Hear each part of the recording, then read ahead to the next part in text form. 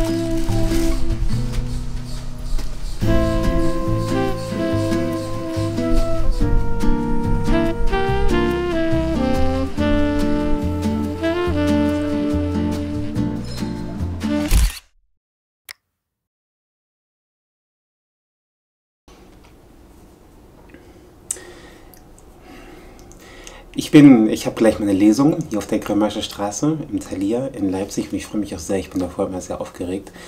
Aber ich dachte, wir sprechen vorher einmal über das Thema Minimalismus und Geld verdienen, weil ich in den letzten Monaten und Jahren an mir eine ziemlich krasse Beobachtung gemacht habe. Vielleicht für dich, um das nochmal in Kontext zu setzen. Vor drei Jahren war ich mehr oder weniger komplett finanziell abhängig von meinen Eltern. Ich habe immer selbst gearbeitet, aber es hat einfach nicht gereicht für Uni und ähm, Wohnung und mein, mein, ganz normales Leben, was ich hatte. Ähm, zu Pandemiezeiten war ich ziemlich krass im Minus, weil ich habe damals meinen Job verloren, ich habe Sportkurse gegeben und habe mich dann irgendwie mehr oder weniger so durchgeschlagen, auch ein bisschen von meinem Ersparten erlebt, bis hin zu jetzt, drei Jahre später, wo ich komplett selbstständig, unabhängig bin und wirklich gutes Geld verdiene. Und in der Zeit habe ich an mir sehr krasse Beobachtungen gemacht, auch gerade zum Thema Geld und Glück, dass umso mehr Geld ich verdient habe, umso mehr wurden mir die Dinge wichtiger, die eigentlich gar kein Geld kosten. Sowas wie Gesundheit, das war mir schon immer wichtig, aber so Gesundheit, Vitalität, ähm, Ruhe, ein Zuhause finden, das sind irgendwie Dinge, die mir über die Zeit, wo ich gemerkt habe, dass das Geld eigentlich nicht dein inneres Glück erfüllt, das habe ich mir schon immer gedacht, aber jetzt habe ich es wirklich erlebt, ähm, das war mir so wichtig. Also zum Beispiel war es so, dass mein Leben in den letzten Jahren, ich weiß nicht, vielleicht kannst du es nachvollziehen, war irgendwie sehr turbulent. Es ist sehr viel passiert und es ist mega geil und ich hab, das war auch das, was ich mir immer gewünscht habe. Aber trotzdem habe ich mich irgendwie auch so nach so einem Ort, so nach so einem Ort ge gesehen, wo ich mich so wohlfühle, wo ich mich so zu Hause fühle, wo ich sage, naja, ich muss nicht ständig weg, ständig reisen. Bei mir war das so, ich bin immer reisen gegangen und dann, dann war ich dort und dann wollte ich wieder nach Hause und dann war ich zu Hause und ich wollte eigentlich schon wieder weg. Und irgendwie bin ich nie so irgendwo so richtig so, so angekommen, so gesettelt halt. Und das sind so Dinge, ähm, auf die habe ich mich angefangen zu fokussieren. Und jetzt kommen wir zum Thema Geld und Glück, weil ich finde, das ist mega der wichtige Aspekt als dann sozusagen Geld nicht mehr so ein Thema war. Weil ich glaube, viele Menschen denken, dass der Vorteil von Geld ist, oder viel Geld, dass du dir damit viele Dinge leisten und kaufen kannst. Also du kannst deine Ausgaben erhöhen, du kannst die materielle Dinge kaufen, die dein Leben schöner machen. Und natürlich stimmt das auch zu einem gewissen Teil. Also ich denke, ähm, jeder von uns hat Hobbys und Interessen und wenn man diesen Hobbys und Interessen aufgrund von mehr Geld wirklich vollkommen nachgehen kann, jetzt in meinem Fall ist es zum Beispiel ähm, Essen, also tolle Lebensmittel, dann ist das schön und dann macht dich das glücklicher. Oder wenn du eine große Familie hast und du kannst dir auf einmal eine größere Wohnung leisten, wo jedes Kind das eigene Schlafzimmer hat und vielleicht du dein eigenes Schlafzimmer hast und nicht mehr auf der Couch pennen musst oder so, das macht auf jeden Fall glücklicher. Aber, jetzt habe ich den roten Faden verloren, ähm, genau, aber was, ich, was, was, was in meinen Augen das, der, der größte Vorteil ist und von, von Geld, und das ist für mich voll die krasse Brücke zum Minimalismus, ist, wenn du die über Geld nicht mehr so viel Gedanken machen musst. Weil dann fängst du nämlich an, dir über Dinge Gedanken zu machen, die nicht immer was mit Geld verdienen und so weiter zu tun haben. Aber es, ist, es sind nicht diese ganzen materiellen Dinge, die damit einhergehen. Und deswegen habe ich gemerkt, dass umso mehr ich eigentlich haben könnte, umso weniger möchte ich eigentlich haben. Also ich besitze jetzt aktuell, würde ich sagen, so wenig wie noch nie in meinem Leben. So wenig Kleidung wie noch nie, so wenig Technikkram wie noch nie. Wir haben zu Hause drei Kommoden und von diesen drei Kommoden, da ist, würde ich sagen, vielleicht 15% von mir belegt. Der Rest ist eigentlich von Vicky. Ich meine, Vicky hat auch nicht wirklich viel. Aber das ist total das, total das schöne Gefühl und deswegen möchte ich, ähm, also die Message eigentlich von, von, von, von diesem kurzen Part ist jetzt, dass ähm, ich weiß nicht, wie wichtig dir Geld ist. Mir war Geld persönlich nie wichtig und mir ist auch Geld immer noch nicht wichtig. Mir sind einige Dinge, die mit Geld einhergehen, wichtig. So ist es, denke ich, in unserer heutigen Gesellschaft. Wenn du wohnen willst, essen willst, dann brauchst du in der Regel Geld. Außer natürlich, du wohnst jetzt irgendwie sehr ähm, autark, heißt es, glaube ich, ne? also sehr irgendwie so im Wald und baust dir dein eigenes Haus und so. Geht ja auch. Aber ansonsten braucht man halt eigentlich immer Geld. Wäre eigentlich auch krass, wenn wir in so einer Tauschgesellschaft leben würden. Das heißt, irgendwie, du baust mein Haus, ich koche für dich und eine dritte Person passt auf die Kinder auf oder so. Aber es ist nun mal, so ist es nun mal noch nicht. So ist es nun mal nicht. Aber ähm, worauf ich eigentlich hinaus möchte, ist, dass wenn du jemand bist, dem, dem diese materiellen Dinge auch nicht so wichtig sind, zumindest nicht so diese Standarddinge, die viele sich einfach nur kaufen, weil sie es sich leisten können, dann ist, ähm, ja, dann ist, ist, ist das, was, was dich was, was nichts kostet, so diese Ruhe, der Frieden, ein Zuhause finden, Gesundheit, ähm, dann ist das irgendwie eigentlich so. Es ist auch so das Wichtigste, aber ich glaube, dann wird es einem noch viel, viel mehr bewusst. Naja, so wie, jetzt geht es auf jeden Fall zum Thalia. Ich werde dich auf jeden Fall mitnehmen und ähm, ja, ich bin gespannt, wer da ist, wer kommt. Let's go.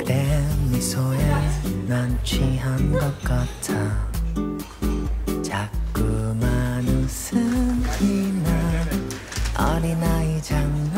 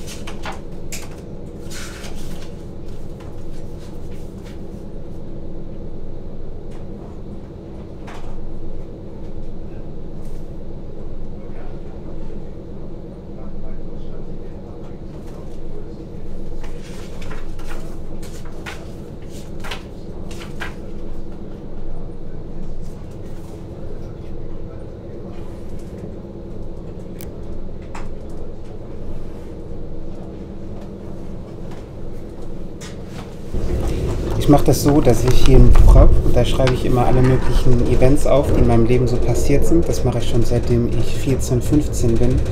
Und dadurch habe ich eigentlich mein komplettes Leben immer schriftlich festgehalten. Ich versuche das dann immer so schön und übersichtlich zu machen. Und das ist mega wertvoll, wenn ich mir jetzt schon Sachen anschaue, die ein Jahr oder zwei Jahre her sind, dann werden so viele Emotionen und Erinnerungen wieder hochgeholt, die ich sonst locker vergessen hätte. Und ich versuche das auch immer direkt danach zu machen, weil dann hat man einfach noch diese ganzen frischen Erinnerungen. Und ja, ich kann dir raten, egal wie alt du bist, fang damit an. Das ist, du wirst da irgendwann mega dankbar für sein, weil das ist das Wichtigste, was wir haben, halt diese ganzen Erinnerungen, Emotionen aus unserem eigenen Leben.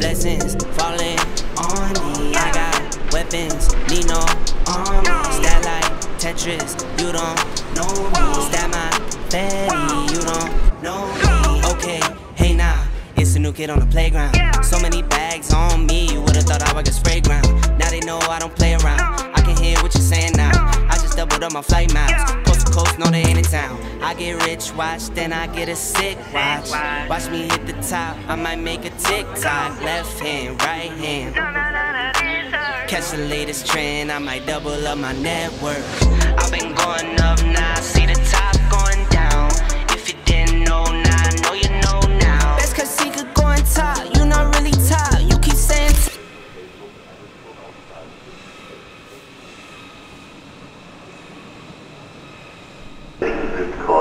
über Berlin Hauptbahnhof, Abfahrt 12.57 Uhr von Gleis 5.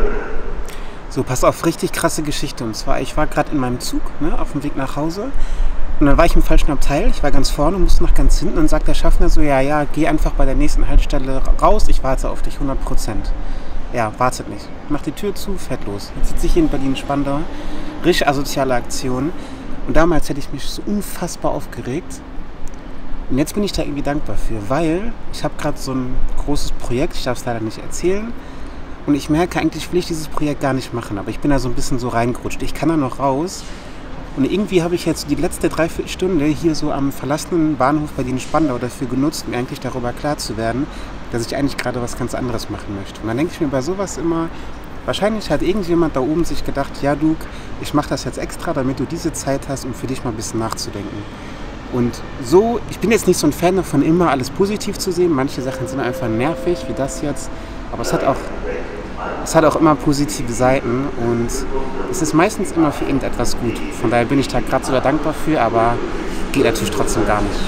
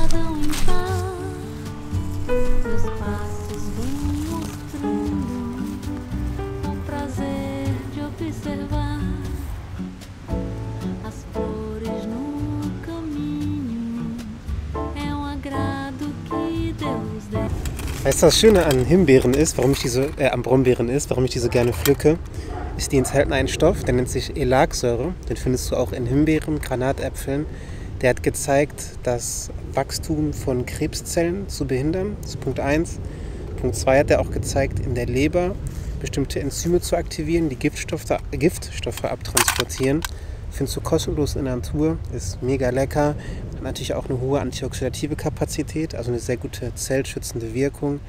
Ich mache mit ihnen Smoothies, ach, wie halt Beeren, ne? Joghurt, was auch immer. Deswegen nehme ich die mega, mega gerne. Guck immer, dass du die von oben nimmst. Ich bin hier in der Natur. Ich zeig dir mal kurz, wie es aussieht. Sorry. Hier ist das Wasser. Hier ist eigentlich nur Wald, ein paar Menschen und Hunde und viele Beeren.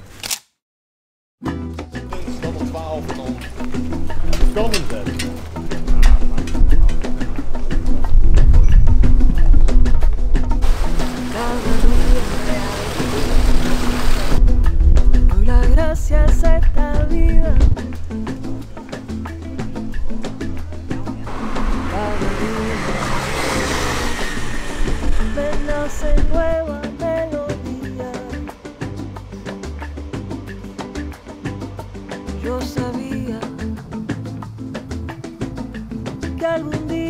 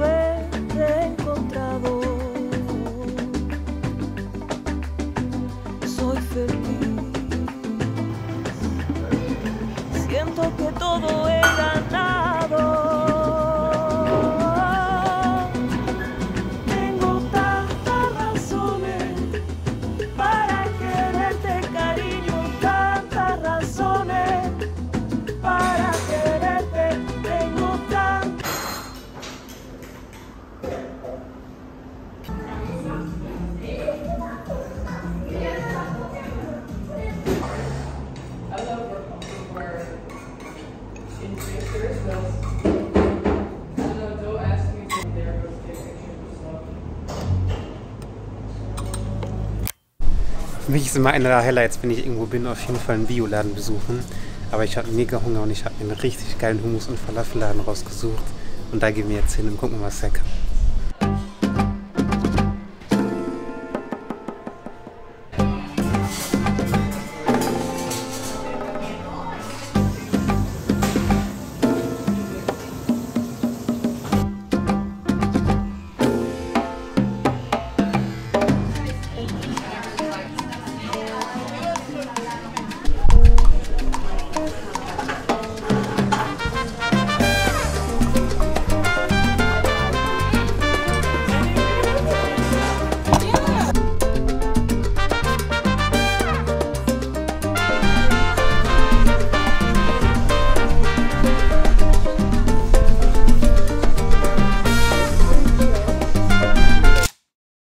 Ich habe letztens eine richtig krasse Geschichte von jemandem gehört, der hat mir erzählt, das hat mich unfassbar inspiriert und die möchte ich dir gerne weitergeben, dass er ähm, mal einfach losgefahren ist ähm, mit dem Auto irgendwohin, ohne Navi, ohne Handy, ohne gar nichts und irgendwo einfach gehalten hat, wo es ihm sozusagen danach war, wo er das Gefühl hatte, hier will ich bleiben, ist dann ausgestiegen, einfach nur dem Schlafsack und im Zelt meine ich und ist dann da halt irgendwie durch die Natur, durch den Wald gegangen und war halt einfach irgendwie ein paar Tage in der Natur. So hat sich einfach komplett treiben lassen, ohne Sinn, ohne Plan.